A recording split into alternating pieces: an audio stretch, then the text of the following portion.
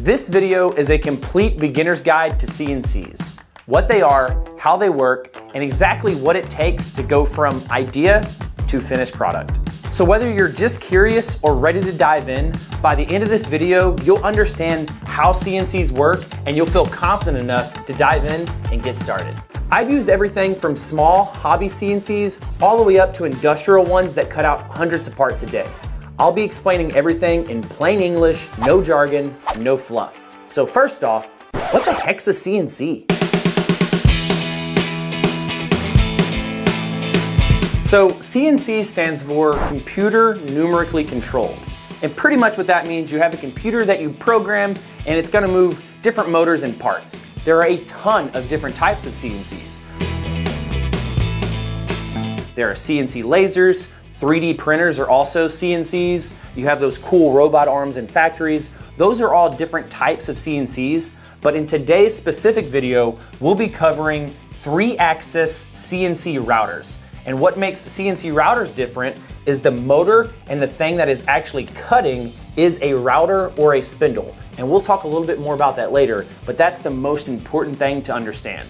Anybody can learn a CNC and run it and purely enjoy it. So whether you use it as therapy or a way to scratch an itch, a CNC is going to be perfect for almost anybody. So in order to make a finished product, you have to understand all three levels of CNC machining. The first level is CAD, which stands for Computer Aided Design, the CAM, which stands for Computer Aided Machining, and the CNC and workflow itself. So we'll be covering the basics of all three of those components. So CAD is the part where you take the idea that's in your head and stick it on a computer screen. Now there's gonna be different programs and softwares to run, so the more complicated ones allow you to 3D model, and that's going to be Fusion 360, SketchUp, along with a multitude of other programs. Now the easier ones, and I would say the more cost effective ones, are going to be 2D and 2.5D drawing softwares, and my favorite are VCarve Pro by Vectric and Carbide Create by Carbide 3D. Those are my top two. So whenever you're drawing on a CAD software, this is the most important thing to understand. That you have to understand that this CNC is working off of a graph. So just like a graph you drew in school, you have the x-axis and the y-axis. So y-axis right here, and this is the x-axis of a CNC. And whenever you draw on one of these softwares, all you're doing are putting dots and you connect those dots just like this. And so those dots right there, those are going to be called nodes. And that line right there is going to be called a vector. Simple enough. And if you draw enough of those dots like that and connect enough of them, you get what you called a closed vector. That's really it. And so all those softwares are allowing you to do is connect dots with lines, which are called vectors. Now, seriously, it's not any more complicated than that. The hard part on any CAD software is knowing which button to click to make which shape you want. So once you have that idea that's in your head put onto paper, my idea was a simple square. Then we move over to the cam portion of it, and that's going to be where we figure out how to actually machine this out. And that's going to involve a few different things. That's going to be your tools, your tool paths, and your feeds and speeds. So when you get into tools, it really depends on what you're cutting out, and there are a ton of different tools out there. Most commonly, you're gonna see spiral end mills for woodworking. They're simple bits, they're, they're just like any other router bit, except they usually do not have a bearing on them because bearings do not work on CNCs. And there's just a variety, whether it's a V-bit or a tapered ball nose, a ball nose. There's just a ton of different tools out there. So once you figure out which tool to use, we then have to figure out what tool path we're going to use. Now, each software that I mentioned earlier is going to have roughly the same names for these softwares. And so let's just say we have this square drawn and we want to cut it out on the middle of this square. So we have the nodes that we drew on the software and we want to cut out that exact same square right in the middle of this square. Well, there are also a ton of different toolpaths, but the three most common toolpaths are going to be profiling, pocketing,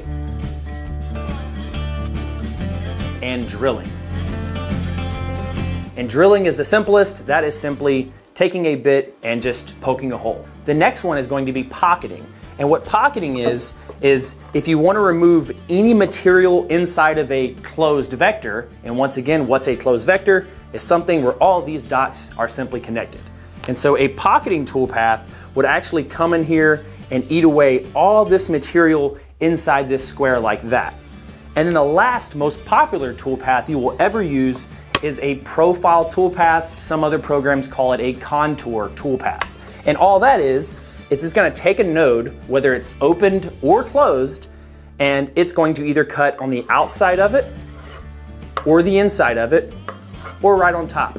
So if I just wanted to cut out a simple zigzag, I can take a profile toolpath, run it right on top, and it'll cut that out. So toolpaths aren't really all that scary, but where it does get hard is on the feeds and the speeds. So why feeds and speeds is so hard it's because there's not a one size fits all. Depending on the CNC that you have, depending on the material you're cutting, what bit you're using, there's a multitude of different answers. And realistically, there is no perfect answer for feeds and speeds. But what they are is you have your feed rate and then you have your RPMs. And so RPMs is how fast this bit is spinning, eating material, and then you have how fast it's moving through the material, and you can also have how deep it's cutting the material. So there's all these crazy things that go along with it, and that's the one that really takes the longest in a CNC journey to master or at least get about 85% good at. And that's not something to be scared of. Just know that 85% of people don't understand feeds and speeds and they own CNCs and they're cutting out products. But more or less, you just have to know how fast to spin it, start at 18,000 RPMs, how fast to run it, run it slow, and how deep to cut.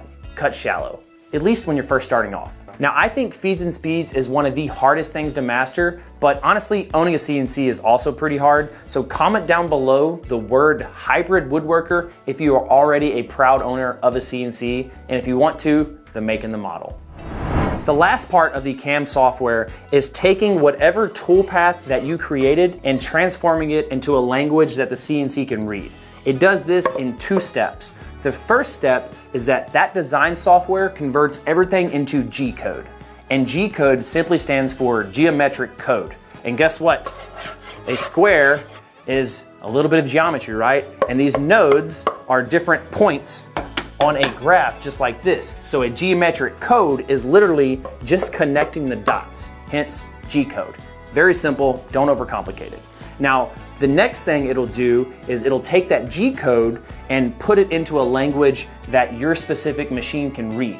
So the most common post processor reader is going to be Gerbil. That's going to be GRBL. And that one's the most common because it's open source. But a lot of these CNC companies will read only certain languages and some have their own proprietary languages. Usually you don't need to stress about that. Let the engineers do all the stressing. You just want to typically make stuff on your CNC. So now that we have the CAD done right, we drew the squares, we told the machine how to cut out the squares, we selected the bit, we told it how fast to go, now we have to operate on the machine.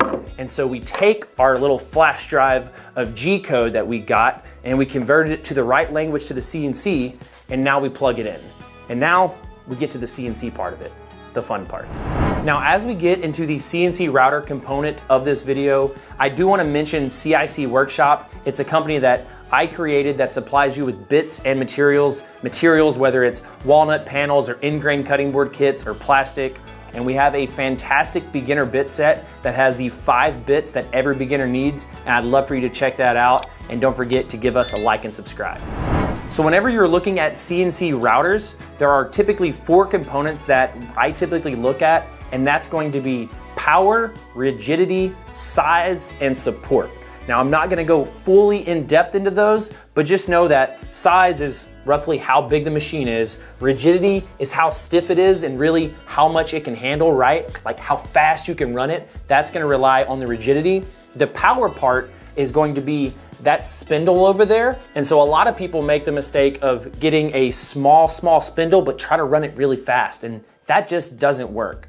And the last thing is going to be the support part. Now, support matters because you're gonna be learning this and you're going to need help along the way. So, whether it's a Facebook page, a great customer service, whether it's a library full of videos, I do think Carbide Create and the Shapeoko have a great, I think the best support network of any CNCs, and I always recommend the Shapeoko for the absolute beginner if you can afford it, because it is a decently expensive hobby CNC, not gonna lie, but it does get you off the ground and cutting faster than any other hobby CNC would. So those three steps allow you to take that idea that's in your head and put it into the machine and allow you to start cutting on a CNC. I think buying a CNC is one of the best things I've ever done and I truly enjoy doing it and truly enjoy teaching it. So thank y'all guys so much for watching and as always guys remember, you ain't cutting it close, you ain't cutting it right.